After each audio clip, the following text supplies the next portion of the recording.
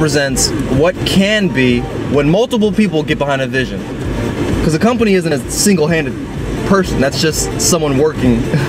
That's just someone working, right? Yeah. When just when one person's doing it by themselves, a sole proprietor, right? Yep. Uh, a lawyer or whatever the case may be.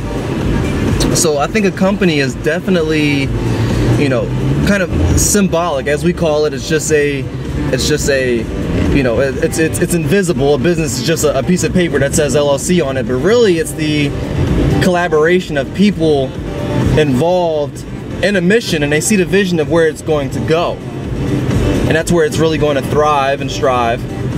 And All countries start as companies. the United States corporation. They wanted to clean up the streets of Philadelphia. 1740.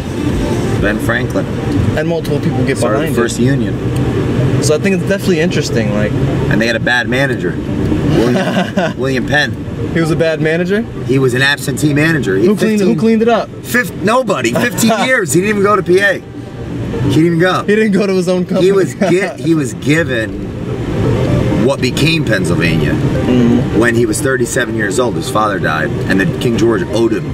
He owed him money. Mm. So instead of the money, he said, "Just give me." You know, he basically said, "Here's land, yeah. 45,000 acres." Then he closed the deal with the Indians, and he got more.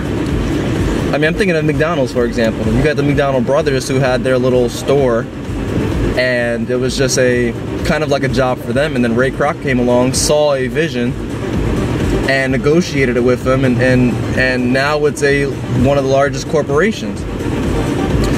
So a business, or you know, a business is definitely a representation of what can be when multiple people get behind a mission with a vision, and it has to be that vision, or else those people turnover is going to be like crazy. You know, we love Grant Cardone, but for some reason he li- he likes turnover. We don't. That's not that's not part It's of not our culture. That's not our culture, man.